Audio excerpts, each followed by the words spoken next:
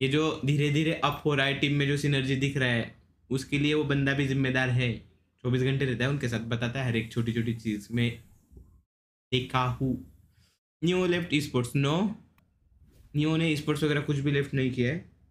अभी बस पहले ये स्टेबल हो जाए, अपना जो मेन वाला लाइनअप पे, वो एक बार स्टेबल हो जाए परफॉर्मेंस आ जाए। उसके बाद नियो का भी करेंगे अपन ने एक गलती किया था लाला को न्यूमन में नहीं जाने देना था बीजेएमएस के टाइम पे। बोल रहे बंदे रिमो इसको रिमो उसको भाई नहीं करेंगे किसी को भी रिमो आ जाएगा।